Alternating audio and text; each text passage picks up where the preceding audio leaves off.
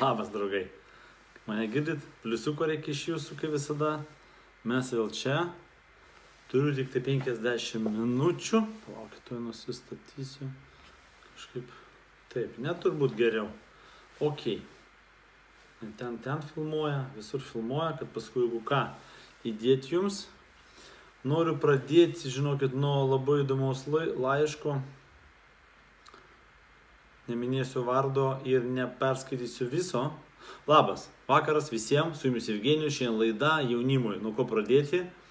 Tas, kas jauna siela, tas, kas nori judėti į priekį, tas, kas domisi kažkokią tai veiklą, sakykime, savo realizaciją. Todėl vadinasi antradienis, tai yra mm, laida jaunimui. Nors iš tikrųjų tai jaunimas turbūt ne pagal kūną, o pagal sielą.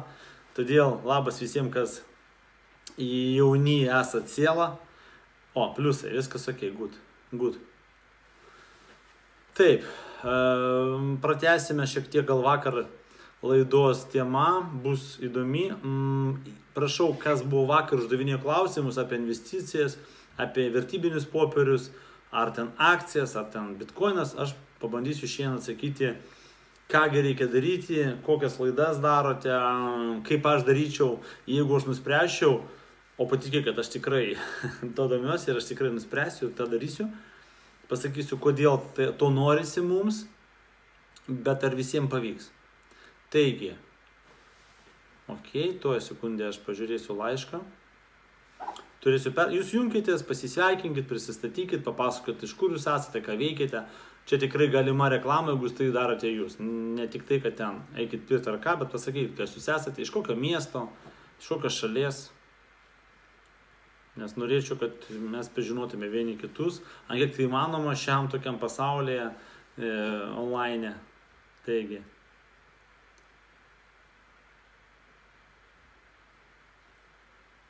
Skaito laišką, draugai, gerai, sekundė, kol jūs jungiatės.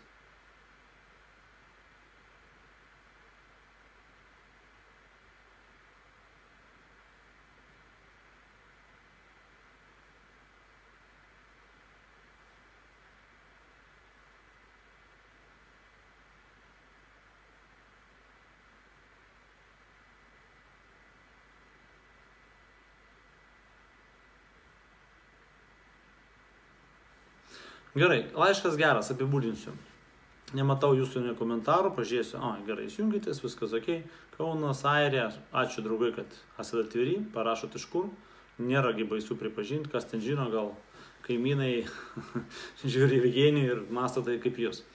Taigi, laiškas trumpai skamba taip. Yra skolos valstybė, taip įdomu pasakyti, valstybės skola, nežinau kas tai yra, e, ką tai reiškia valstybės skola, nesumokėti mokesčiai, nežinau toks. Matot, neturiu pilnos informacijos, negaliu duoti pilną atsakymą arba pilną tokį sprendimą, kągi daryti. Žmogus savikritiškas, žmogus adekvatus, žmogus suvokia, kad daro kažką blogai, žmogus, kuris mokinasi, lavina save ir pas jį viskas bus gerai, nes tai vienas iš rodiklių. Nes jis nekaltina kitų, neieško kitų, jo, kad apkaltinti, kad valstybė reikalauja, nors atrodo, nu, kad tu pats padaryta skola, kad žmonės prasti, kad ten įmonė bankrutavo arba nepavyksta pasiekti tokį lygį, kuris norėtų.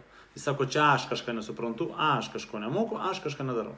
Taigi, ir e, skola valstybė tai netoli 50 tūkstančių, a, suprato, kad dirbo už mažus įkainius, nu tai yra padarė visą virtinę klaidų, dėka kurių ir susidarė tos skolos. Tai yra nemokėjimas apskaičiuoti. Toliau, mm, nors ir peržiūrėjo daug visokių ir webinarų, ir kas liečia verslo valdymą ir taip toliau, bet suprato, kad tai nepadėjo jiems sukurti aiškios sistemos, kurie būtų matomas visas judėjimas. Tai yra kontrolės sistemos, motivacinės sistemos, pardavimų, įplaukų, išlaidų ir taip toliau. Nes kadangi, kai jūs turite įmonę arba kažkokią veiklą, ten viskas sukasi, krito pinigai, jūs naudojat kažkiem poreikiam ir paskui būna taip, kad praeina pusmetis, pažiūrėt ir jūs koloj. Kaip suprast, aš uždirbdavau kas mėnesį, tarkim, 10 tūkstančių, nu taip turėjau visokių išlaidų, bet kaip aš galiu būti minuse, liaudiškai tariant. Ir taip pat dirbo pusmetį beveik, ten augo iki ten 16 žmonių, kai dirbu įmonėje ir vėl ta pati riba ir vėl viskas griūna ir taip toliau. Tai yra nėra supratimo, kas yra valdymo sistema. To aš ir sėkiu, išmokinti jūsų, kiek galiu čia nemokamai, be abejo pasakoju tai versas ABC, todėl pratęsiu šiandien, pratęsiu nuolaidą, kaip buvo vakar. Tai yra, jeigu jūs norite įeiti į verslas ABC, šeši mėnesiai su manimi, du mėnesiai teorijos, tai jūs mokinatės, paskui jūs galite, turit galimybę ateiti į eterį ir užduoti klausimus man ir aš pasakysiu, ką daryti. Bet aišku, turi būti visiškai atviri, o ne taip, kad ką patarsi, kad užsidirbi pinigų. Kur, kas dirbs, ką tu moki, nu labai abstraktu. Turbūt klausimus turi pilnas. Ir susiduria žmogus su tom pačiom problemom, kad šiek tiek auga, liktai užsidirba ir vėl nusiridena, ir vėl nusiridena. Todėl Klausimas adekvatus, manau, reikalingas atsakymas visiems jums. Nes jeigu kažkas tiki, draugai, tiki iš jūsų, kad man pavyks, nepavyks.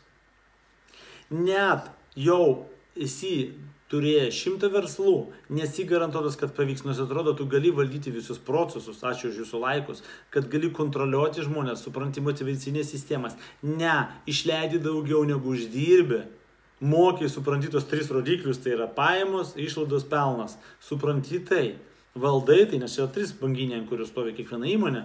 Tai gali, nes sviravimas rinkos, numatymas ateities to produkto, konkurencinės galimybės, ar yra progresas, ar turi perspektyvą, numatymas lubų toj šalyje, regione, kurioje tu esi. Todėl visi yra nu, tiesiog eina į bankrotą, kai jie matoja taip, man patiks, aš to tikiu, tai yra į niekur kelias.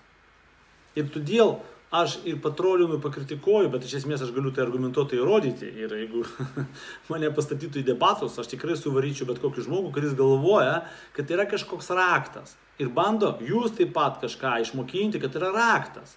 Jevgenijus neduoda jums rakto visrakčio, žinot, kuris atrakina. Vat aš kai sakau, padarysiu Google AdWords reklamą ir tada, kai pradės eiti pardavimai, nu nepradės eiti. Padarysiu Facebook reklamą ir va tada jau čia man krys pardavimai, nekrys 2-3, bet tu nepadarysi 10 tūkstančių eurų. Viskas yra daug sudėtingiau. Tuo pačiu, kai jūs tą suprantat, tai yra paprasta. Čia klausimas tik pasirinkimo, to, kas jūs veža. Todėl tai labai svarbus dalykas. Todėl žmogus jis susiduria su kuo? E, paprasčiausiai, nesupratimo visumos, kaip turi būti, nemokėjimo e, plėsti mastą. Tai yra, jūs visi turite, jeigu, net ir jeigu jūs esate specialistai, tai yra, dirbat vienas ant vieno, nu kaip buhalteris, pavyzdžiui, ne? Bet jeigu buhalteriui užtenka ten kontroliuoti penkias įmonės ir gauti atlyginimą, tai viskas ok, čia ne jam aš kalbu. Jam reikia didinti save kaip specialistą, pastovi auk, domėtis mokestinės sistemom, naujovėm, ne, kad visą laiką būti ant bangos kažką sugalvoti, suras kažkokiu tai apėjimų, kaip sutaupyti pinigų, neapgauti, sutaupyti pinigų. Tai čia viskas ok, čia tokia kaip asmeninė savybė, bet jeigu jūs verslus, jeigu jūs norit kažką pradėti, jūs turite suprasti visumą.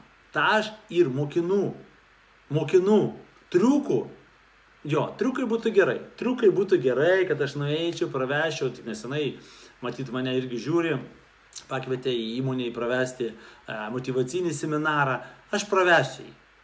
Bet aš pasakysiu tenai, kad jums tai nepadės taip, kaip jūs tikitės. Tai duosiu jums ten 1 procentą naudos, bet kad padaryti 200 procentų daugiau pardavimų, kad plėsti, kad numatyti jo, progresą įmoniai, kompanijoje ar asmeniniai, reikia suprasti visumą. Tai yra labai sudėtinga. Nu, sudėtinga, pati manoma. Ir todėl motivacija mano tokia, kad bet kokią veiklą, kurios norit pradėti, kažkasgi daro. Ir uždirba milijonus. Reiškia, jūs irgi galite. Dabar klausimas, kodėl nepavyksta. Nu, trūkstama, trūk, trūksta žinių, trūksta normalių, adekvačių mokytojų. Trūksta žmonių, kurie nuėjo tenai ir jūs mokina dabar, sako, tai ašgi buvau.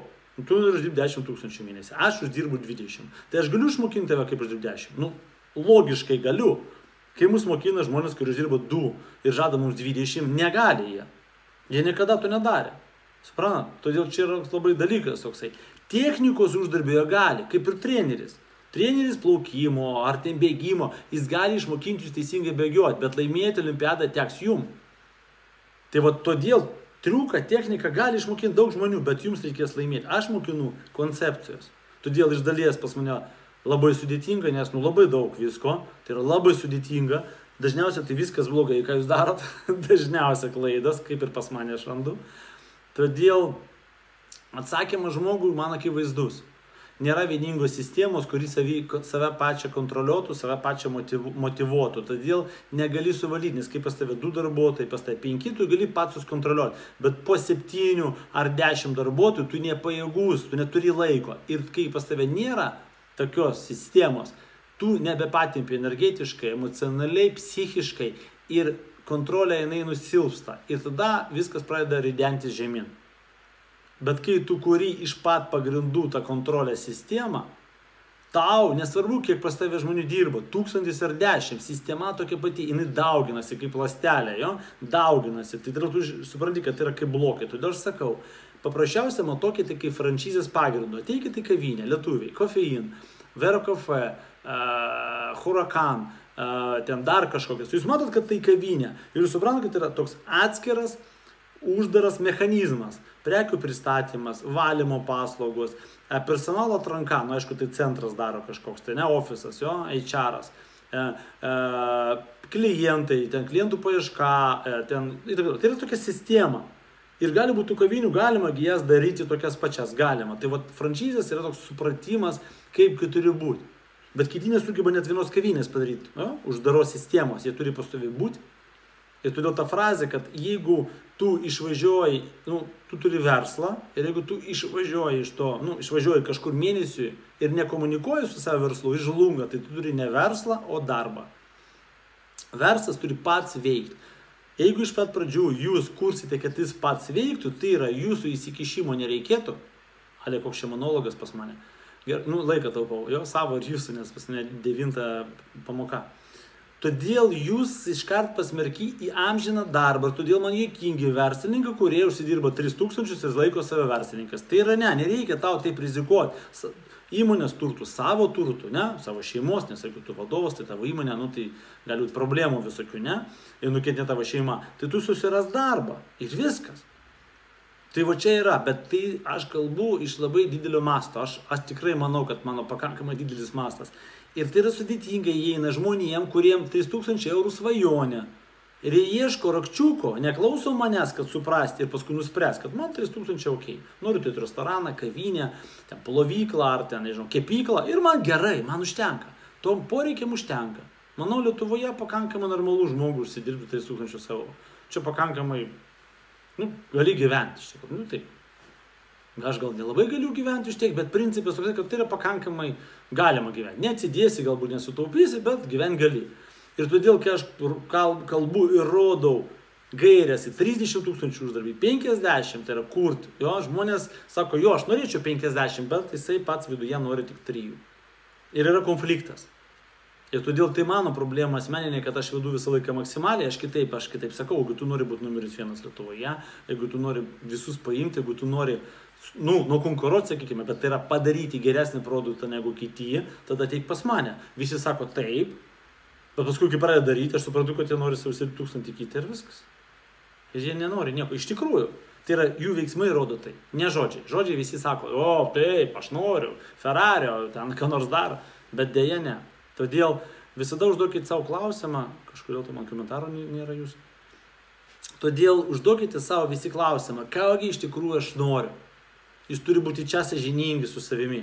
Nebijoti keisti sritis, nebijoti, sakykime, net pasiduoti, nebijoti bankrutuoti, mesti pakeliui kažkokią tai veiklą, darbą, krausytis į kitą miestą, nes jūs čia nusibodo, nuobodu keisti aplinką, jūs turite turėti jėgos vidinės.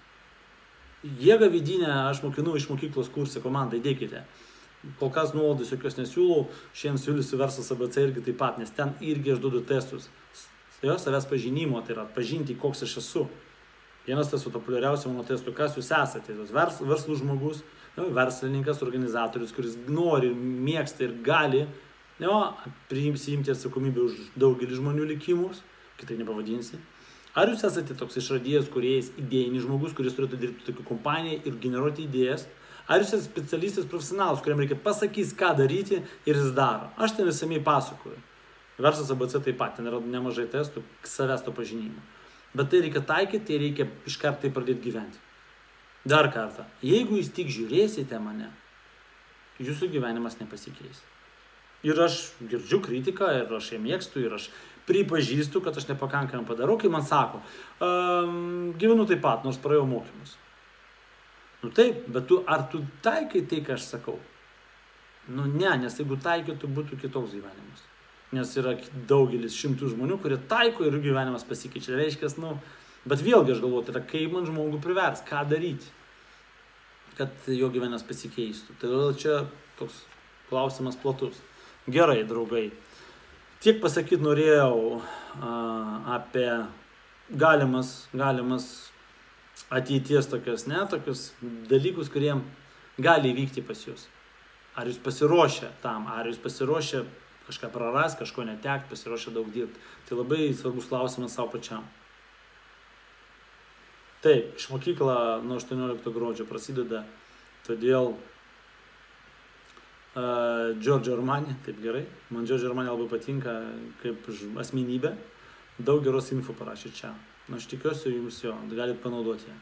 Gerai, bandau prisiminti, ką mes, kodėl aš norėjau šiandien kalbėti apie akcijas, investicijas, vertybinius popierius, jų valdymą. Mm, gerai, aš to mokinu irgi taip pat verslas ABC.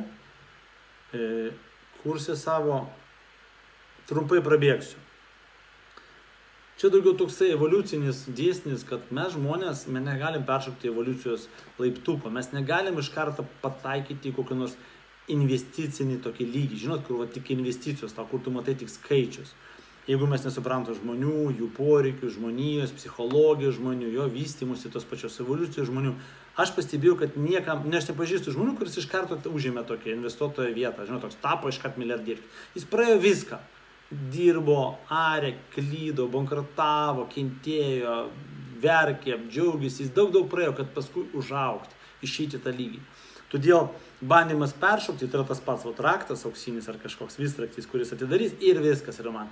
Nėra jo, reiškia, reikės praeiti, išmokti galbūt daugybę, daugybę dalykų, kurių jūs paskui vėliau nebedarysite. Tu nepergyvenkit, kad jums reikia mokintis galbūt programuoti, galbūt reklamą užsimti, gal dar kažką priminti žmonės į darbą, sako, kad nekenčiu, arba skambinti telefonu, pardavinėti savo paslaugą arba produktus. Jūs tą nustosite daryti, kai jeigu jūs auksit. Kiti tik sustoja ir sako, aš dirbu telemarketingą 20 metų. Oho, tai vadovauju bent jau skyriui? Ne, taip ir skambinėjau. Gerai, jeigu tas žmogus specialistas. Ok, jis bus laimingas, bet jeigu jis nelaimingas, jis jau ne savo vietoje. Nes vis tik tai mes atėjome čia būti laimingi negi mes atėjome čia kentėti, nugi jokinga būtų, ne? Todėl turi suprasti, kokia evoliucija vyksta versle arba toje realizacijoje susijusiu su pinigais.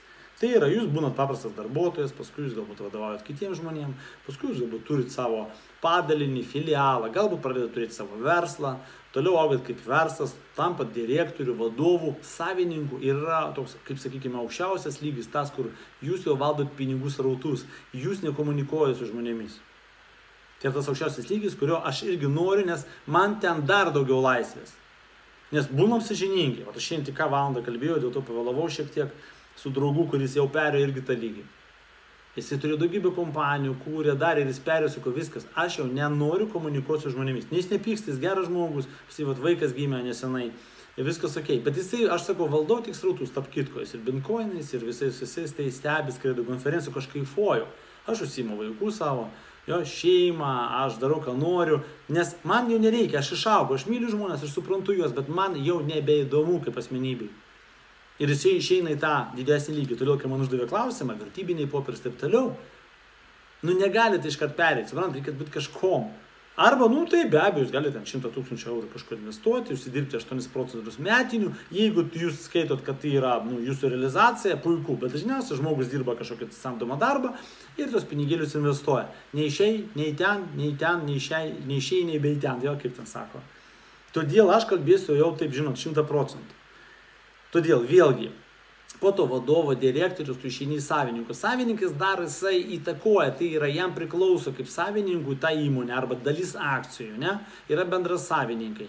Tai irgi aukštas lygis, bet yra dar aukštesnis lygis, kai tu pirki kitų svetimų įmonių akcijas, kai tu investuoji į e, kažkokius tai ne tai, kad produktus, inovacijas, bet tu investicinius fondus. Gal tu turi fondą, bet jeigu tu turi fondą, tu vis tiek komunikuoji su žmonėmis. Bet kai tu, traderis, Traderis tai yra tas, kuris parduoda, perka akcijas, ne, arba tos pačius dabar vat, kriptovaliutą. Tai yra, tu nematai, nėra žmonių. Tu pats savo bosas, tu vienintelis tas, kas įtakoja savo gyvenimą. Tu nesu ko nekomunikuoji, tik tai, nu, online internetu, tau nesvarbu. Taip, tu skridai konferencijas, tu bendrauji, bet tu renkėsi, su kuo kalbėti, su kuo bendrauti. Pranat, nu, aš laikau kaip Warrenas Buffettas, ne, jisai bendrauja, sako, aš tik su penkiais žmonėmis bendrauju, su Bilu Geisiu žaidžia šachmatais, ar ten ką ten žaidžia, ne šachmatais, dar kažkom. Tai yra visiška, visiška laisvė. Bet dabar, kai aš tai pasakoju, turbūt dauguma, nu, dauguma sakytų, o, wow, čia tai gyvenimas, ne, aš irgi taip norėčiau, taigi tai yra smagu, fainai, bet dėja iki to reikia daeiti. Ir va tas daeiti, žmonės nedaina. Aš vis kalbu, pasakoju, aš iš vis galvoju, kada aš pavargsiu kalbėti. Ja? Smenat, nu, kada Aš kalbu apie tai, kad tu negali, nu tu turi padaryti praeitą kelią, žmonės net laiko, šešis mėnesius kažką daro pasiduoda, kiti metus daro. Sakau, bet tokių verslų yra, jie daro ir tie žmonės turtingi. Nu tai, bet ir ieško, kad tu kaltų, jie pasiduoda, paskui kaltina save ir ten pasidaro dar baisesnių dalykų. Tai yra liūdna stebėti, bet tu negali išeiti iš kart. Ir mes galim tų paralelių surasti. Kaip tu tau neduoda iškart vairuoti automobilį, nes tau sako, davai, pabandyk aikšteliai, ten klasiai galbūt, ne, ar skraidyti su lėktuvu, ar uh, išmokti plaukti, plaukimo, ne, tai irgi taip pat, gal plaukiu, ne, neprisimenu iš tikrųjų, kaip ten gal su ratu ar su kažkokia tai lentutė, kad nenuskestum, tai yra patruputuką. Todėl Pirmiausias toks suvokimas. Aš žinau, kai užduoda klausimus, ką jūs manote apie vertybinius popierius arba akcijus. Ką manau, super, bet kad ką tai padės? Ar jums duot raktą, kur investuoti? Aš žinau, kaip norėtųsi išgirsti. Evgenijus pasakė, bet kas patikės manim, ne, kokia, kaip, kaip, kaip pamatuoti mano žodžių patikimumą. Todėl aš niekada nesimsiu sakyti, ką daryti. Aš galiu pasakyti savo nuomonę apie tai, kur tai veda. Nes tas kelias jis platus, neaišku, kada jūs išklysit, ar gal jūs laikysitės ir įsitėsiai. Bet iš esmės mes pasamoningai, nežinau, kuo jis mus išmokino, ar tai pasakos apie Lenę, karalių sutiks, princą ten išaus strėlę, varlę pabučios, tai yra tas raktas toksai, žinot, op, ir vis, ir gerai. Vat atrado žmogus save, kaip gerai, nu, apie mane, kaip Evgenijų gerai, jis atrado save. Mhm, manau, pasakykit artimą aplinkai, kaip man ten gerai ir taip toliau. Nu, tai, tai yra krūva reikalų, kiekvieną dieną visko daug ir, ir, ir pasipaiškos niekada nepasibaigs, aš šitą supratau.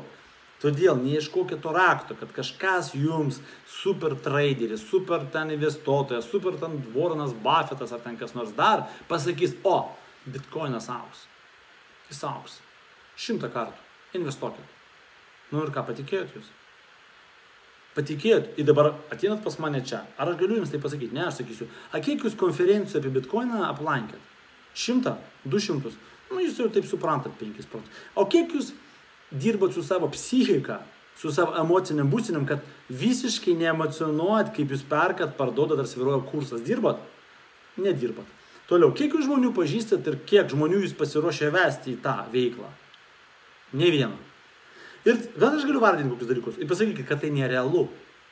Aš dabar gelbėjau jūsų likimus, bandau, bet aš nesakau nedaryti. Tai yra esmė. Pas mus yra juoda balta. Daryk, investuok, tai auga. Pagrysk man tai. Tai vagi auga. Bet tai nieko nereiškia. Kitas sakys, nesąmonė, čia foros, čia vertės nėra, taip toliau. Nu, tai man dar nereikia tos vertės, aš noriu dešimt kartų padidinti, padidinti savo kapitalą. Na, daug dalykų tokių. Kaip sukurti sistemą? Pavyzdžiui, mano draugas, aš skrisiu pas Italiją, man labai domina ta tema, bet mane domina tema, kaip čia dabar šokti ir visi lekia. Ne, aš netoks žmogus. Aš neskubu.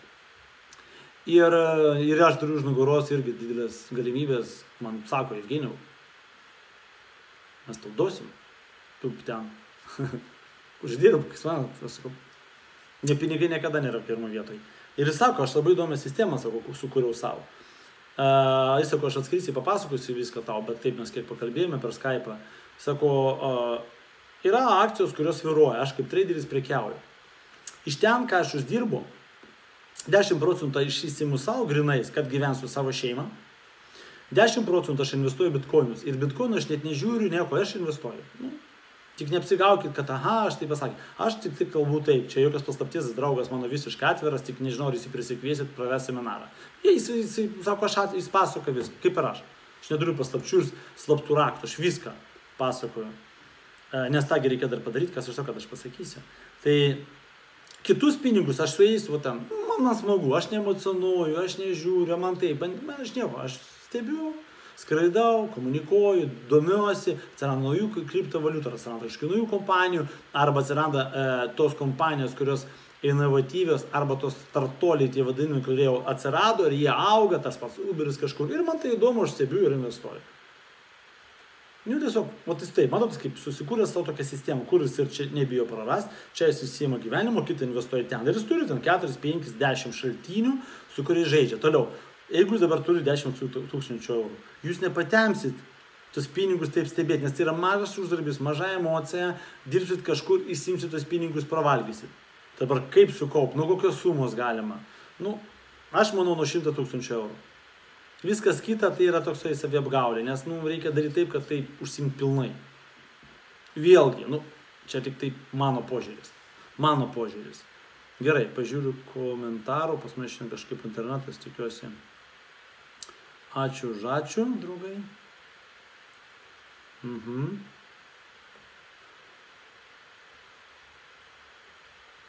Uh, jo, čia Jurgita rašo, laukiam verslo BC, gerai. Uh, daug klausimų. Jurgita, jūs pirmiausia, aš žinau, kokie klausimai bus.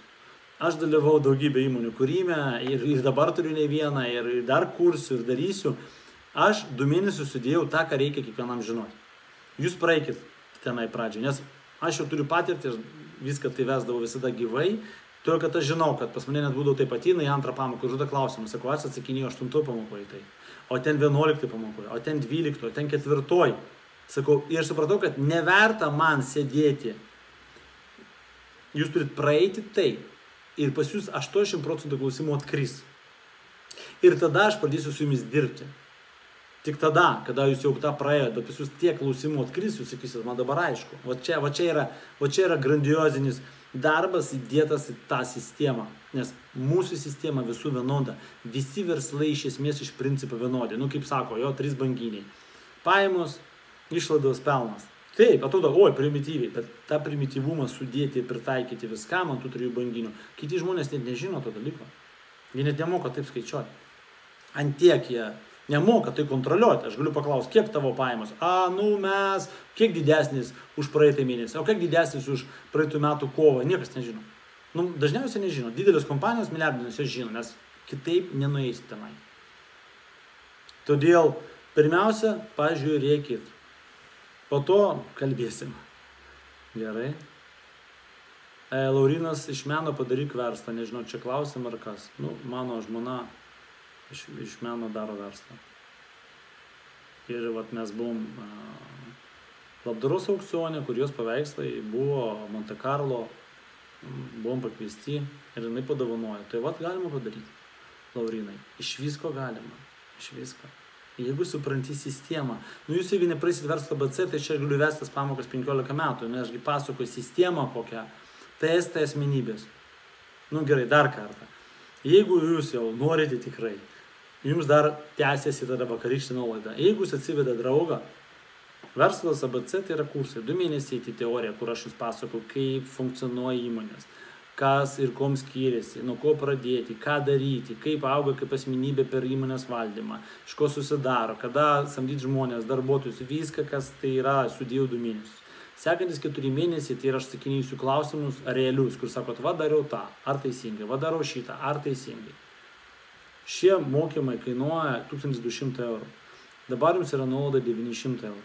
Jeigu atsiveda draugą, jūs mokat pusę kainos. Eikit, ieškokit draugų, labai gerai bus su draugu mokintis, nes ginčytis, komunikuosite, pyksitės, viens kitą padėsite, viens kitą stumsite, labai gerai poroje. Ieškokit draugą ir ateikit ir jums kainuos tie mokymai, nu, mažiausia, nuo sausio pirmo pusantro tūkstančio šitie mokymai kainuos. Pirmin, komandai, dėkite mano nuorodą, tą nuorodą verslas ABC, eikit, palikit duomenys, palikit telefoną, paskambinkit rytoj, noriu, tarkitės. Nes bazinių žinių neturėjimas, net bazinių žinių turėjimas negarantuoja, bet antiek išlaisvina protą, jūs suprantat sistemą. Kodėl aš paprastai žiūriu, va ten ar menas, ar ko neprekiauti, man nesvarbu, nėra blogo produkto. Viskas, kas, ką, ko nori žmonės, yra gerai. Nu, narkotikais, ten kažkom ginklais, galbūt nenori aš prekiauti, ne? Bet visko, ko nori žmonės, yra gerai. Viskas. Linas rašo, pirmą reikia 100 tūkstančių užsidirbti. Taip, Linai, taip.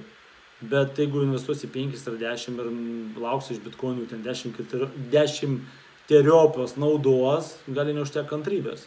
Todėl 100 tūkstančių įsidirbti irgi rodiklis, asmenybės rodiklis.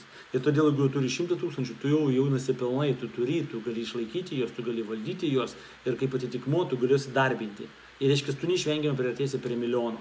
Ir jeigu 100 tūkstančių yra daug ir nei kažkokia nereali suma, reiškia, reikia ieškoti žinių, kaip padaryti, kaip daeiti iki tenai.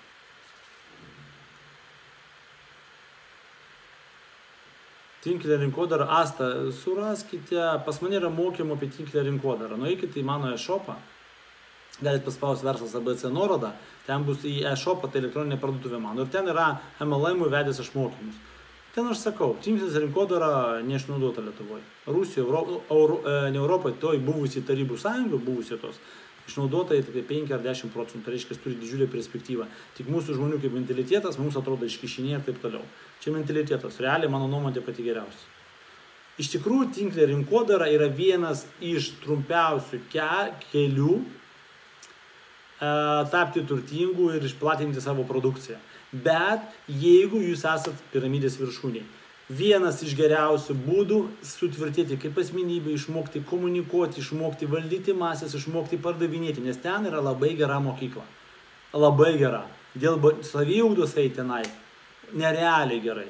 Bet mes, mato, tokie keisti žmonės, kad mes einame kažkokią tai darbą, kur mes mokinamės nuo įgūdžių ir mums galė mėnesio dar moka atlyginimą ir mus nepatenkinti. Nu, labai taip keistai mąstom, taigi mes dar ir mokinamės kažko. Taigi, todėl Laurinas klausė, kurį daugiau verslo orientuotis šiais laikais internetinį ar realų. Nu, tai yra realų tokia apčiopiama, jo, tarkim, parduotuvė. E, nu, yra toks dalykas. Aš manau, vis tik tai reikia žiūrėti savo psichiką. Jau, nu, tai yra žmonėm, kuriem patinka daugiau, o ten turėti kavinės, restoranus, ten, nežinau, dirbtuvės, ar dar kažkiem patinka. Jiem, jiem, jiem taip smagu. Todėl pirmiausia reikia tą vidinę laimę žiūrėti, kas, kas yra va čia. Aš labai laisvas žmogus, man nepatinka prisiriš paško, man patinka viskas, kas vyksta mūsų gyvenime. Man patinka nuostabios parduotuvės, namai, būtys, automobiliai, ten nežinau, kas tik norit. Man, man gražu. Kas gražu, tas gražu. Bet mažai iš to aš norėčiau valdyti, sėdėti, kontroliuoti. Todėl, aišku, tą ir realų Lauriną tą verslą, kuris yra parduotuvė, tu gali kontroliuoti iš Havajų, online būdu. Čia jokių nėra problemų, ne? Todėl tas toksai klausimas, jis toks retorinis, ne? Bet iš to konteksto, kai paklausė, tai realus verslas, o kitam patinka internetinis verslas, kaip va, tam traderiui būti, neprekiauti akcijom, čia reikia žiūrėti, kas, kas padaro tave daugiau laimingų. Tai yra, nu, irgi pirminis požymis. Todėl tai svarbiau.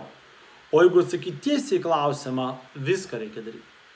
Ir aš dabar irgi buvau vienoje tokio parduotuvėje ir ten pirkau kai ką ir sakau, o jūs kaip nors ten gal žinutės siunčiate, jeigu atvažiuoja kažkokių naujų ten daiktų ar ką, jie taip žiūri mane, kokias žinutės. 22 amžius jie nesupranta.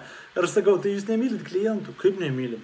Sakau, tai, nu, tai kažkaip, nu, taigi pas jūs būna naujų daiktų, produktų, kažkas, tai kažkaip, va aš perku pas jūs, tai atsiųskit žinutę, aš atvažiuosiu, nupirksiu. Jie nesupranta. Aš galvoju, tėvė mano, kur jie gyvena, tai kaip, tai kaip jie išgyvena, nes, nu, jie išgyvena, nes tai yra normalus produktas, kur tu eini ten, žinai, tu ieškai ir tu. Ir iš esmės 90 procentų verslų gyvena akmens amžiuje. Akmens amžiuje, tai ką aš žinau, ką aš suprantu, iš ko aš mokinuosi, tiesiog kosmose. Kosmose. Akmens amžiuje gyvena, nemoka, nemyli klientų, neveda prie pirkimo, pirkimo ir taip toliau. Ir aš tai viską pasakoju verslas ABC. Aš pasakoju, kaip neišvengiamai užsidirbti pinigų. Tiesiog neįmanoma neužsidirbti. Bet reikia laiko, davesti. O mes dar gyvenam akimės amžiuje, mes galvojam, va, tušinukas. Va, pavyzdžiui, tušinukas. Iš mokyklaltai. Ir kaip parduoti reikia, tai reikia kioską padaryti, arba įsiūlyti žmonėm gatvėje, arba reikia Facebook'e padaryti reklamą, pirkti tušinuką 9 procentų nuolaidą. Va tai yra akmens amžius. Tai yra akmens amžius ir aš jau pavargau kalbėti apie tai. Ir aš turbūt liausius, kad nors kalbėti, nes nusibodo, nes visi vat, nori greit rezultato. Ir jie nieko ne, neturi. Nieko. Tu, kad reikia mylėti žmogų, reikia mylėti klientą, reikia žinoti, mąstyti, kas bus po 10 metų su mano verslu, kur aš einu, kokia likutinė vertė. Suprantu, kad kažkas žiūrės šitą video ir sakys, ką tu čia pudrinis smegenis, man reikia šaibų. Sėkmės. Sėkmės. Nėra šaibų, ne, kaip taip sako, man reikia šaibų. Ne, nebuvo šaibų, nėra, tai neturėsi. Kaip pakeis man tavo, gal ne kaip. Einaras taip prašo, dar nedrįsau rašyti, bet mums reikia gyvai pakalbėti. Einarai, tu mane gazdini, kodėl tau reikia su manim gyvai, ašgi ne moteris. moteris tai žinai gyvai pakalbėti, apkabinti, pabučiuoti, kodėl reikia su manim gyvai, kodėl online negalim pakalbėti. Gerai, draugai, linksma, bet 10 minučių dar turiu. Gediminas rašo, ar įmanoma akcija 50 už 4 pirmas pamokos. Žinokit, nežinau, mes darom akcijas ir laikomės tokio kaip žodžio, ne? Aišku, aš biški leidžiu savo būti laisvų ir, pavyzdžiui, pratestim šiandien akciją, pavyzdžiui, iki rytojus 12 dienos ateiti verslas ABC. Ta 50 už 4 pirmas pamokas nežinau. Parašykit, prašau, info eta jočernis.lt arba čia į Facebooką, į Messengerį, ne? Parašykit ir mano susisieks komanda, nuostabus moteris, merginos, atrašys padės ir kažkas susitarsi tikrai. Taip, ačiū, kad įdėjote, va yra kur e, tinklinės rinkodaros kompanijomis vedžiau, pakilki naują lygį. Dvi valandos tikrai verta investuoti. Tikrai verta investuoti, todėl Madėta šmaikštauja. Finansinis stabilumas. Pinigų nebuvo, nėra ir nebus. O, jo, būna taip. Bet už tą stabiliai. Aš uždirbu 10 metų stabiliai 500 eurų. Būna tokių žmonių. Ne, bet čiagi, nu, matot, aš iš tikrųjų nesu privartautojas ir aš neverčiu žmonių kažką daryti, bet jeigu jau ateinat pas mane arba mokinatės, nu aš jau tada maksimaliai išnešu smegenės, todėl kad nu aš kitaip negaliu, aš negaliu sakyti. Man yra labai daug mokymų, kur jums pasakys, nu viskas tam gerai, fainas, tave nevertina direktorius blogas. Jums tą bus malonu girdėti. Sakys, tu nustebi moteris, vyras tavęs nevert, tu vyras fainas, tugi stengiasi, nu uždirbi 500 eurų, bet nieko, tave turbūt neverta, neskaito, matai kokia išdidyti ten, pasikėlusi, bet, ir va tokius dalykus, bet nuo togi jūsų gyvenimas taigi nepagerėja. Jisgi nepagerėja. Tai kam kalbėti, klausyti aš, kas pilna mokymų tokių, nieko, nieko, kaip išlaikyti santykių kam jūs išlaikyti? kaip išlaikyti verslą, dar pasakykit. Ne, kaip pasakau verslą, tai tu žiūrėjau, o kaip išlaikyti torą pilną? O, o, ir, e? nu, kaip sakyčiau, juokauju, bet iš tikrųjų tai nejuokinga, liūdna. Nereikia klausti, ką manote apie MV kompaniją. Best of the top. top the top, žinot, nu, bomba, nu kaip 40 metų kompanija, super. Tik mokintis ir mokintis iš jų. Tik klausimas, ar jūsų psichika, psichologija tinka tas visą laiką pušas ir toliau. Ar tinka, nes daug šimtai žmonių pas mane šiandien Amvėjai, Marikėjai, Forever, Kijani ir taip toliau, taip toliau. Reikia žiūrėti ir kokia psichika jūsų. Ar jums tinkamas toks uždarbis. Aš žinau, ką žmonės daro. Žmonės nori pinigų dėl pinigų. Kelias į aklį gatvį. Nėra galimybių jų turėti. Bet jeigu jūs norite aukti, realizuoti, vystytis, padėti žmonėms, sakot, nerealus produktas, iš tikrųjų čia, ne per protą, ne, taigi čia nebloga, ašgi neblogas žmogus, ašgi stengiuosi, taigi kompanija faina, va, MV kompanija, Viginis pasakyk faina, eisiu dirbsiu. Jūs turite norėti to darbo, jūs turite būti veža. Nes tik taip galima kažkur nueiti. Taigi, mm, Greta klausia, uh, uh, jeigu stabdo internetas, bus YouTube įrašas geras, aš rašinėjau dar ir su kamera. Taigi, mm, Evgenijų, ką manote apie draudimą plus kaupimą, investavimą? Nu, turi būti toks psichotipas, man tai per lietą. Bet iš esmės aš nežinau, koks tai yra, bet aš žinau, e, kad galima tikrai iš ten užsidirbti, bet reikia ten daryti, pušinti, susikurti tą pamatą, dirbti 2, 3, 4, 5 metus ir po to jūs susidirbsite ten 2, 3 tūkstančius eurų, visą laiką dirbdami, jokių pasyvių pajamų. Jeigu tinkamas toks modelis verslo, kodėl ne, yra labai gerai kompanija tinklinė uh, M Capital, uh, Arnas, Šilvinų, puikiai, aš ten visada rekomenduoju, nes aš žinau žmonės, nes man visada svarbiausia žmonės, kurie tai daro. Tai jie tikrai nuoširdus, geri žmonės, kurie rūpinsis jumis, niekada nevers, nemelos, neapgaudinės, absoliučiai totaliai sažiningai. Ir tiesiog tai Eikit, pabandykit pas juos. Vau, reklama nemokam M Capital, tu taigi nueikit. Aš žinau, kad ir mane rekomenduoja, jeigu ateit pas mane mokintis, žinau tikrai. Tai čia jokių problemų. Tiesiog žiūrėkite, ar jums tinkamas tas darbas. Ir jiems pasakys, tu jūs rinkitės. Ir nesakys, tu čia, aišku, kad tu gali, sakys, mesgi uždirbom, mūsų komanda uždirba, bet ar jums tinkamas tai? Todėl aš manau gerai. Kodėl ne? Jeigu žmonės nori, aš darau apdraustas, pas mane kaip dievė mano, ten tų draudimų, ten visokių, nu, tu net taip gaunasi. Visokie kasko, vis būsto, sveikatos, kelionių, visokios kreditinės, auksinės, platininės, man, tu pilna tų draudimų, tai ko, ko blogai, nors niekada nesinaudojau. Nekar, nu, va, kasko iš tikrųjų, va, man buvo. Buvo čia aš vat, prieš tris mėnesius ar kiek mašiną dažė man. Nu, va, paprašau, draudimas, kaip jis gali būti nereikalingas. Gerai, kad buvo. Nu, tai iš tikrųjų. Nieko baisaus nebuvo, bet man asmeniškai, aišku, šių draudimų mokesčių niekada nesipirko. Tiek, kiek aš sumoku, tarkim, ten, žinau, ten į metus ten gal 5 tūkstančius, ne? Man niekada neatsipirko, aš tiek įvykių, jokių neturiu, bet, nu, bet taip gaunasi kažkaip. Todėl vis tik tai aš klientas turbūt geras būčiau. Bet irgi manęs nelabai myli. Nieko nepadaro, nei naudas, nieko. Nemoka lailumo pas mus absoliučiai, akmens amžius. Absoliučiai akmens amžius.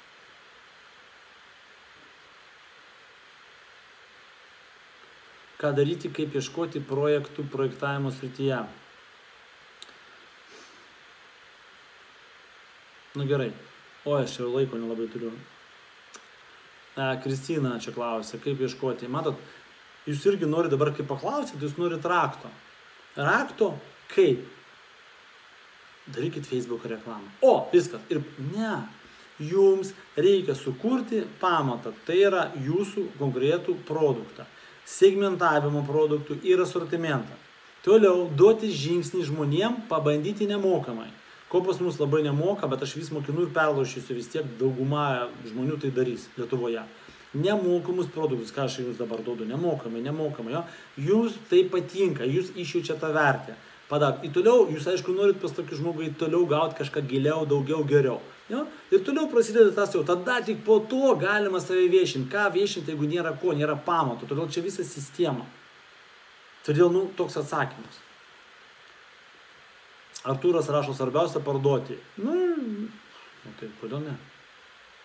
Svarbiausia parduoti, nu tai ką žinau, kodėl. Nepridursi, netimsi. Kiekvienas verslas nori parduoti savo paslaugą arba produktą. Tai akivaizdu. Logiškai toks, taip, tai verslas. Nežinau, žinot, pas mus dar yra tas, va, tas aš galvoju, kada mes įsišaknysim savo pasąmonę tokį, žinot, aš tai darau nemokam, aš tai fainas. A tu čia pinigų nori už viską. Vat kada mes įsišaknysim tavo tokį, vat, man keista.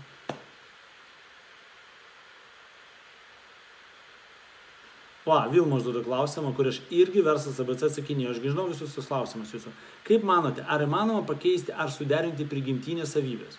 Negalėčiau pilnai būti tik versla, nes esu meno žmogus ir negaliu savęs taip apriboti. Vilmūtė, meloji, nesupranti labai paprastų dalykų. Jeigu esi meno žmogus ir tarkim tapai, ar ten drožinėjai, ar dar kažką darai, tu turi daryti tai, tu neturėjai prieš prigimti, prieš savo psichotipą ir taip toliau. Bet tau pradžiai ką? Išmokti, jo, išmokti, daryti, e, ne tik sukurti, neišmokti, sukurti tokį verslo modelį, kur tu gali įsimti tik tai, kas tave veža, patinka ir tam geriausia pritaikyta. Tau reikia praeiti ir valdymą, ir buhalteriją, ir vadovavimą pačiai savo, ir verslo sukūrimą, kad paskui pasamdyti buhalterį, finansistą, marketingistą, direktorių tau pačiai. Nors tu produktas, kaip ir pas mane, aš nesu pas save direktorius, buhalteris, vadybininkas, telemarketingistas, ar kad aš esu šiuo atveju mokytojas, treneris. Nors kažkada aš viską dariau, kūriau puslapius, organizavau keliones, organizavau seminarus, aš viską pats dariau. Man tai nepatiko, nes man patinka daryti tai, ką aš dabar darau. Tai reiškia, ir nereikia, bet tą kelią praeiti reikia. Ir ką aš kalbu šiandien, kad reikia kelią Vilma praeiti. Kelią tą praeiti reikia. O mes norim rakto, kaip nepraėjus kelią, daryti, ką aš noriu. Niekaip. Nu, niekaip. Todėl teks daryti daug visokių dalykų, kurių jūs nenori daryti, jums netinka ir nereikės ateityje daryti, kai jūs išauksite tą ja, struktūrą, kur aš jau galiu užsiimti tik tai tai, kas man skirta. Kaip ir kiti mano komandoje esantys žmonės. Aleliuja. Gi taip skamba, kaip paprastai, nes taip ir yra. Bet dabar tą padaryti, reikės daug prakaito ištėti. Va čia yra niansas. Bet skamba prastai. Žiūrėkit, draugai, pritarėt man, nusakykit, jeigu aš teisus, paspauskit laikus. Paspaukit širdutės, laikus, kažką prašau. Pasidalinkit, jeigu manote, kad tai pravers kitiem. Pasidalinkit.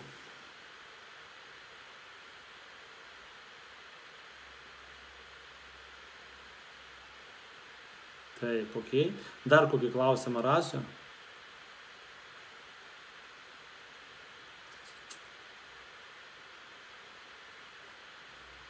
Va, Jurgita rašo, bet man finansininkai M-Capital nepagrindė savo skaidrės. Nu, aš kalbu apie tai, ką aš žinau. Aš negaliu pasakyti apie tai, ką žinau ir aš neturiu nuomonės. Aš pažįstu žmonės. Nu, gal žmonės keičiasi, aš nežinau. Aš nežinau. Žiūrėkit, kitko aš irgi iš tikrųjų galvoju čia atsiprašyti už praeitą ketvirt, trečiadienį, man atrodo, pas jūs. Ar pirmadienį, kada čia buvo. Ne. Prisimint buvo ta tokia akcija, sakau, pasidalinkit žmogumi Nu, pasakysiu vis tiek, o, bet neatsiprašysiu. Iš tikrųjų, aš pats, aišku, kaltas, neišanalizavau, bet, sakau, užtaginkit žmogų, aš pareklamuosiu jį 70 tūkstančių Facebook bendruomeniai, taip pat dar YouTube ten pas mane 8 tūkstančiai, ne, tai yra tūkstančiai peržiūrų, LinkedIn 7 tūkstančiai yra, nu, daug tokių, ne, kur tie žmonės pareklamuos. Pareklamuoti, jeigu kuris daro ką aš. Savo knygą, kurią parašęs pats asmeniškai, davonoja nemokamai žmonėms. Ir jūs įdėjote, aš pagiriau net, nu, parekomendavau du žmonės, bet tas žmonės jie neparašė savo knygos. Ten yra ne jų parašyta, kita išversta, ar kitur koks nors ten, kaip tai kažkaip, sukomponavęs tą knygą, tai reiškia net ne jų parašytos, realiai tai čia, sorry, tai kaip Lietuvoje nėra žmonių, kurie daro kaip aš, aš nesuprantu, kur aš randuosi, tai ar taip viskas prastai, ar tai aš durnas, ar, žinokit, aš nežinau, aš nenoriu apie tai galvoti. Aš tiesiog tęsiu, ką aš darau, crazy, bet koks skirtumas. Nu, tiesiog kažkaip, aš gal tikiuosi žmonių per daug. O jiem vat reikia ten, žinot, parduoti. Nežinau. Va taip ir gaunasi, aš bandau subendrinti, aš bandau padaryti bendruomenės, aš bandau padaryti sujungti žmonės. Jie psichika jie. Parant, kodėl? Kodėl taip sudėtinga? Kodėl tokie primityvūs poreikiai? Kodėl tiek mažai žmonėms norisi? Mažai, tiek mažai, biškutuką. Patenkinti ego, pataikyti televiziją ir šiek tiek užsidėti pinigų. Ir tai viskas, ką gali žmogus.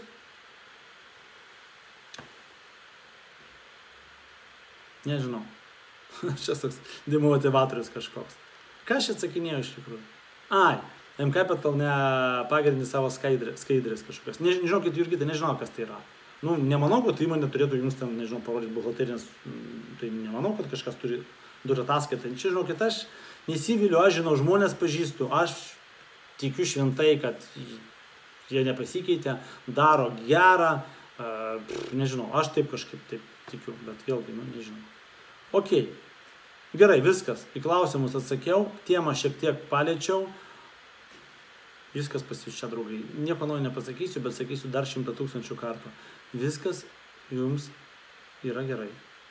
Viską jūs galite pasiekti. Viskam, ką jūs norite pasiekti, turėti, reikia žinių. Tai reikia to kūro, to supratimo, to samoningumo, kaip tik norite. Ir antras žingsnis tai yra daryti. Tai aš vadinu dvasinę koją, kita koja materiali. Tai yra materialumas, tai yra veiksmai, darbas, pinigai, jo visas tai. Dvasingumas tai yra supratimas, samoningumas, protas, išmintys, patirtis, įgūdžiai. Ir ant vienos kojas nepašakinėsi. Todėl čia reikia to balanso. Ir jūs viską galite, jeigu jūs ir suprasite, ką darote, ir darysite pilnai iš viso širdies. Tuo visiems ir linkiu. Šiandien tokia. Bet manau, šiek tiek gal irgi atsakiau daug klausimų. Pasakiau, ką norėjau, aš patenkintas. Naudokitės e, tą nuolaidą, kurią aš jums siūlau iki rytojus 12 dienos. Atsiveskite draugą ir mokėkite tik pusę kainos už verslas ABC mokymus. Patikėkit, tai to verta, tai pakeis jūsų gyvenimą. Atstatys jūsų tokia, žinot, tą protą į vietą. Jums bus aišku. O geriau žinoti, negu viltis ir tikėti. Todėl linkiu visiems žinių gilaus apmąstymo. Nu ir ką. Ir iki rytojus. Iki. Ačiū draugai.